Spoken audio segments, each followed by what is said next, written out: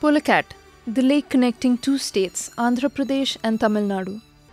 Spreading over 600 square kilometers, these brackish waters have been sustaining life for ages.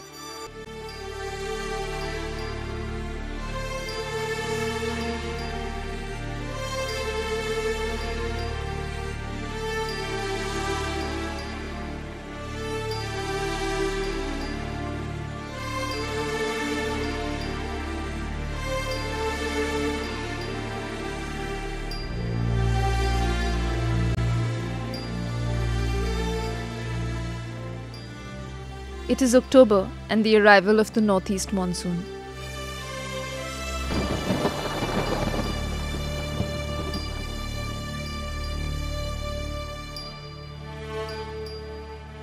Fishing days are here again. Food is everywhere. It is a joyous time for both bird and man.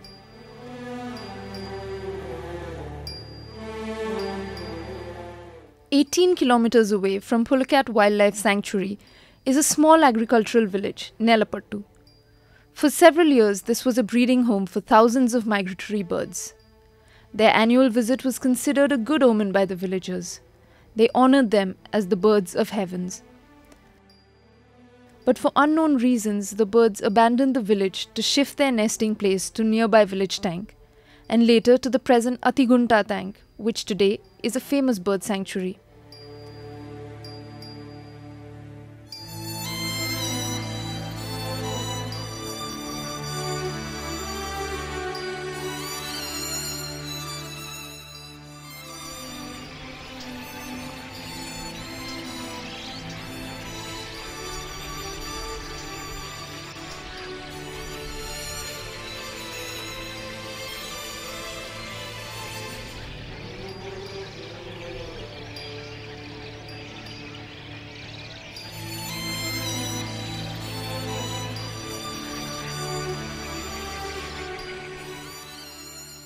This pelican is back at her home after three years.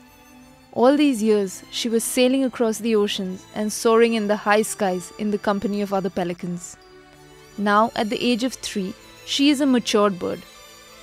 A mysterious natural instinct unknown to man has guided this bird back to her birthplace, Nelapattu.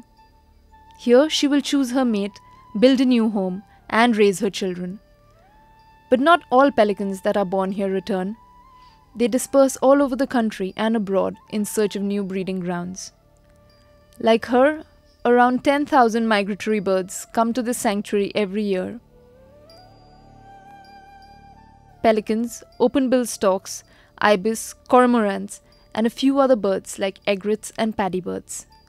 Their only mission is to breed and multiply so that their generations will continue forever. For another six months, Nelapattu will transform into an avian world. Every bird is busy in building a new home. Time is very precious. All the surrounding water resources, including Pulicat and other major water bodies, will dry up in another six months. Their children must be fully independent by that time.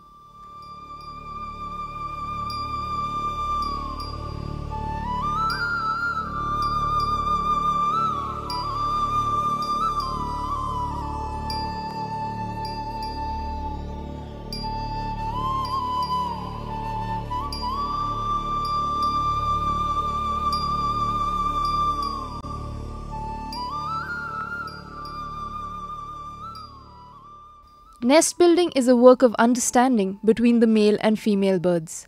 The male bird offers a stick to the female of its choice. Acceptance by the female bird strengthens the bond between the two birds. Nelapattu, with its surrounding scrub jungle and vast areas of reserve forest, has enough potential to provide plant material for all its nesting birds. Usually, during the early hours of the day, the breeding males go around in search of suitable material for their nest.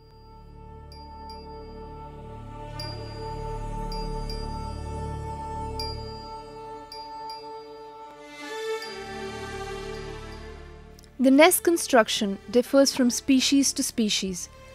The pelican's nests are heavily cushioned with various grasses and leaves to avoid any injury to newborn naked chicks.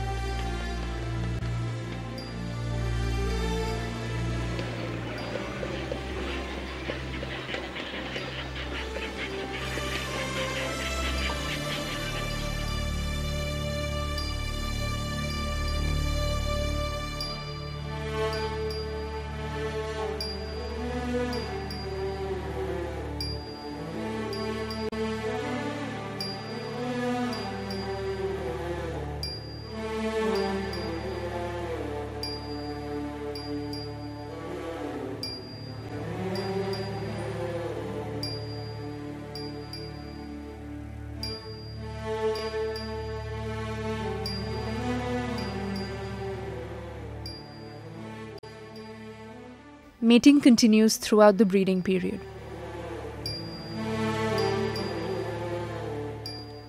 Few days after the completion of the nests, the females lay 2 to 3 eggs. The cluster size is almost the same in all the species that breed here. Both the parents share equal responsibilities right from incubation to caring of the fledglings. One of the parent birds always stands guard to prevent attacks from predators.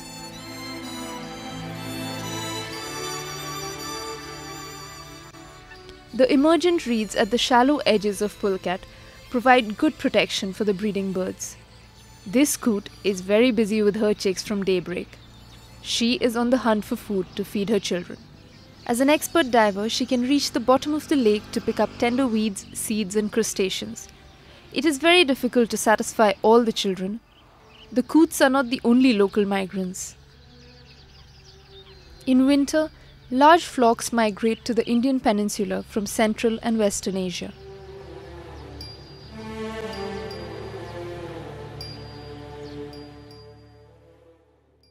The brackish waters of Pulicat, with its high potential seafood, attracts thousands of flamingos from different parts of India and from far off countries like Iran.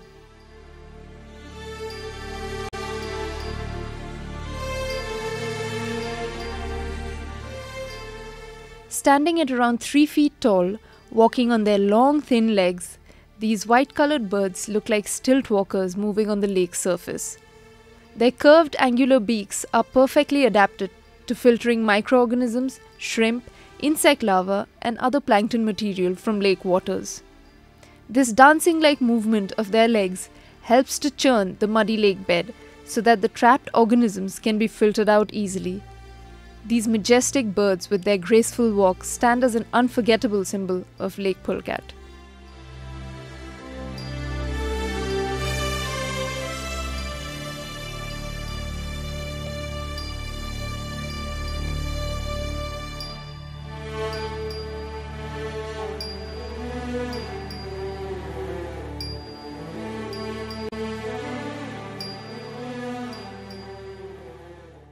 The long incubation days are over.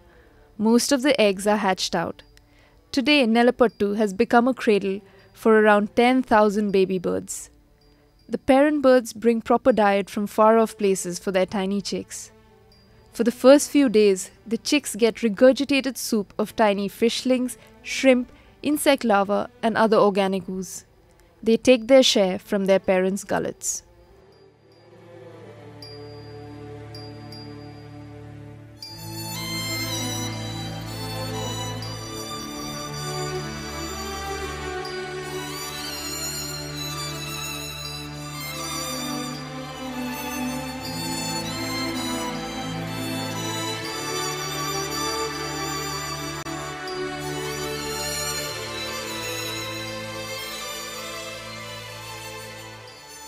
Unlike pelicans, open-billed storks vomit regurgitated food of small snails, tadpoles and other kinds of insects on the nest floor so that their young ones can pick it up.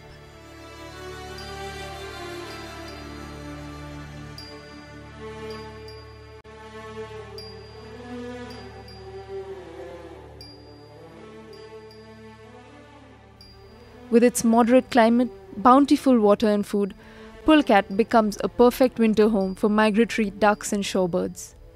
The migration of any species is an annual seasonal journey from its birthplace to feeding grounds and vice versa. Unlike animals, these birds have the ability to fly thousands of kilometers across continents and oceans to reach their selected places on Earth. Birds like shovelers, teals, garganeys, and other shorebirds come here from as far as northern Europe, Siberia, and Ladakh to escape the freezing icy temperatures and the scarcity of food there. Even today, man does not have an adequate explanation for migration of the birds.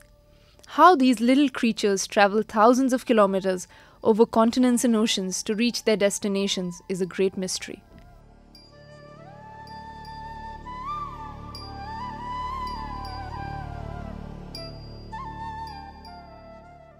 The mudflats, with its various kinds of organisms, provide rich nourishment for black-winged stilts, plovers, wood sandpipers, yellow wagtails, and other shorebirds.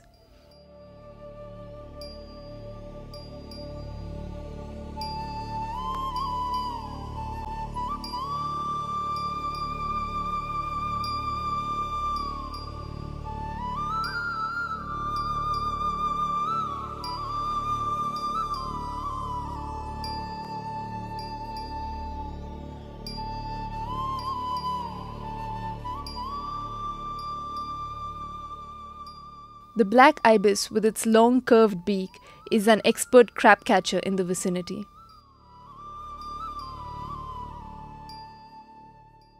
The most striking birds of all migrants are painted storks. Usually, they stand on the edges of geels and sandy banks to pick up frogs, small snails, and insects. Sometimes, large groups gather near culverts and streams, wading in shallow running water to catch the fish coming from upstream.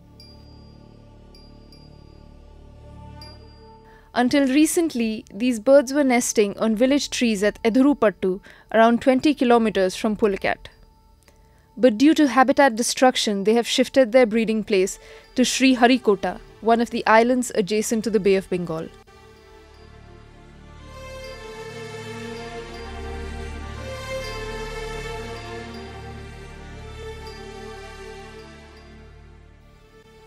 It's mid noon, feeding time for pelicans. Every day, the parent pelicans travel for around 70 to 80 kilometers to fish in Pulicat and surrounding water bodies. Now the chicks are 4 months old and each one needs about 2 kilos of fish every day. The parent birds never make a mistake in landing on their own nests. The chicks push their heads deep into their parent's gullet to pull out the fish. Sometimes this process may last for up to 4 or 5 minutes.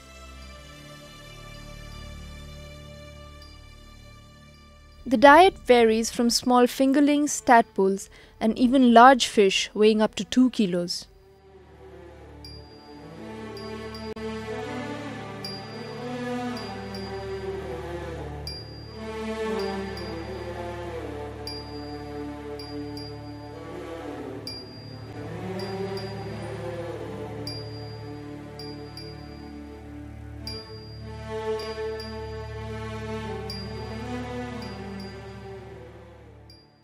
Usually, the firstborn chick is always strong enough to dominate over the younger ones. It is not uncommon to find its younger siblings dying of starvation. This is the beginning of natural selection, the survival of the fittest.